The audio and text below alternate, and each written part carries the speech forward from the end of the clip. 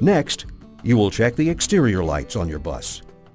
Your Saf-T-Liner C2 has a standard feature to help drivers perform this procedure more efficiently. When you activate the C2 Pre-Trip Light Check feature, the bus will operate all of the exterior lighting functions, including the stop arms and crossing gate, so that you can check their operation from the outside. Here's how to activate the Pre-Trip Light Check feature. 1. With the ignition key in the off position, switch the hazard flashers on. 2. Pull the turn signal stalk toward you with your left hand and hold it there. 3. Cycle the key switch to accessory and back to off twice, then turn to accessory and leave it there. 4. Release the stalk switch. The hazard flashers will pause. The light check feature is now activated. Exit the vehicle and proceed to the front and check each lighting function as the system activates it.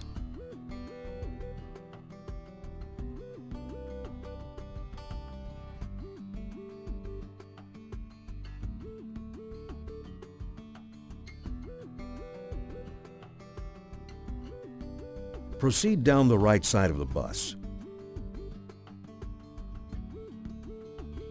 and to the rear while checking light activations.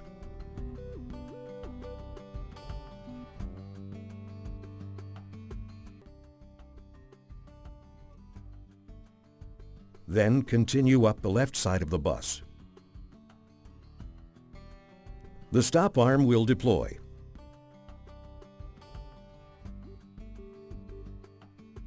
And if the bus is so equipped, the crossing gate will deploy as well. When the check is complete, the system will automatically deactivate. The hazard flashers will begin flashing and the horn will blow. You may now turn off the hazard flashers and turn the key to off. Continue the remainder of your pre-trip inspection and report any problems in accordance with your district's policies.